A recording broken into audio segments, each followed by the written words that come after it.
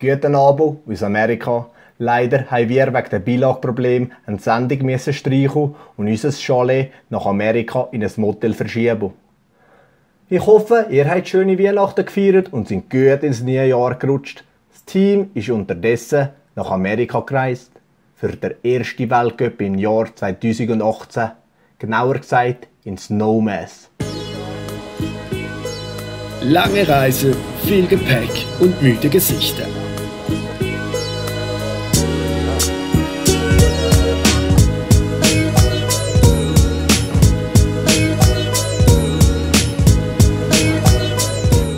So schaut es aus bei der Ankunft am Flughafen in Denver. Herr Mahler, sind Sie verletzt auf Amerika gereist? Nein, ich habe es einfach gerne bequem.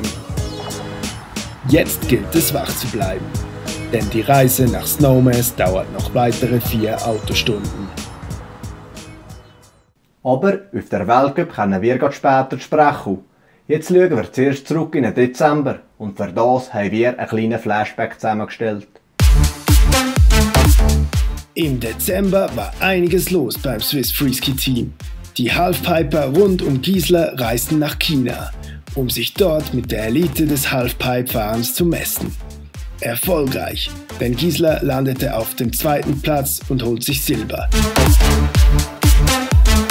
Sein Teamkollege Brigitte holt sich Bronze. Premier podium en Coupe du Monde. C'est cool. In Laax trainierten Ragetli und Co. bei perfekten Bedingungen auf den Jumps.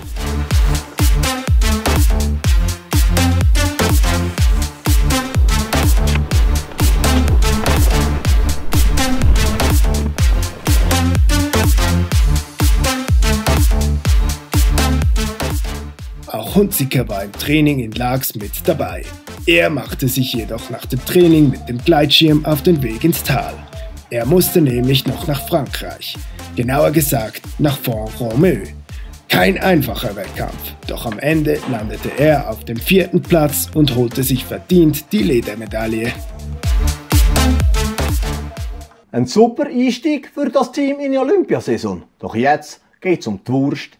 Die letzten zwei Selektionswettkämpfe für Olympia stehen vor der Port. Da wird entschieden, wer unsere Schweiz an der Olympiade in Korea kann vertreten Der erste Weltcup hat in Colorado, Snowmass, Aspen stattgefunden. Aspen, auch bekannt als das St. Moritz der USA. Auch bekannt für das Land der unbegrenzten Parkmöglichkeiten.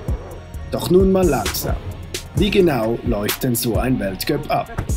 Teammeeting, Startnummer fassen, noch Fragen? Ein typischer Morgen eines Qualitages.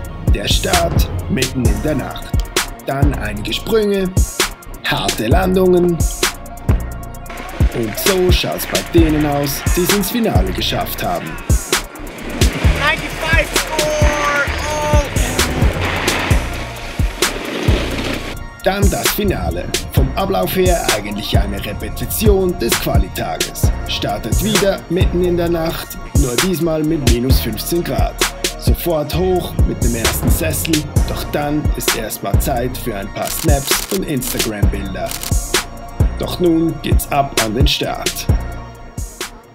Kannst du den reinschneiden? Dann sieht meine Mami, dass ich mich gesund ernähre. Oder wenn ich in Amerika bin. Es geht Was ist anders ready? Muss ich etwa noch zwei Stunden warten, bis ich droppen kann. Aber es ist voll easy.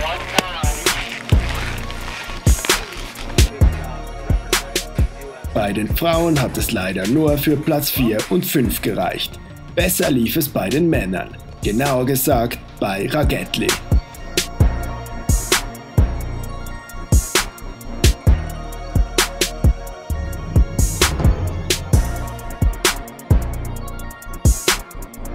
Er holte sich mit seinem ersten Lauf 95 Punkte und bleibt von da an ungeschlagen. A 95 from Switzerland, Let's hear it for Andre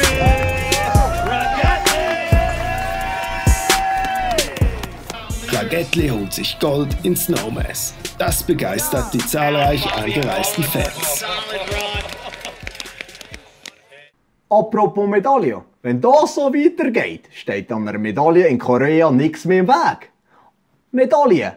Wenn einer weiß, wie man grosse Medaille an Olympischen Spielen gewinnt, dann ist das ein Studiogast. Herzlich willkommen. Olympiasieger Simon Ammann.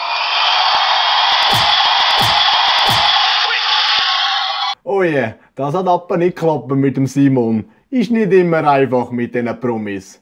Wir nehmen den Appen zu Korea zusammen eins. Jetzt geht's weiter Richtung Sony, Kalifornien. Der Weltcup im Mammoth steht auf dem Programm. Weil das ein bisschen weit ist mit dem Auto von Colorado auf Kalifornien, mir das Team einen kurzen Zwischenhalt in Las Vegas einlegen.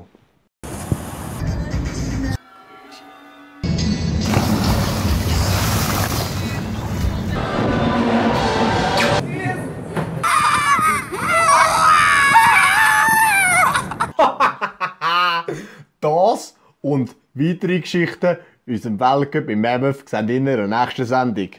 Ich wünsche euch einen schönen Abend und nicht reichen jetzt mein Cola, weil da gibt es auch keine gescheiten Weine. Sante! Dann sind wir jetzt fertig. Gut, dann gehen wir jetzt auf Aspen, die Aspen Chicks anschauen.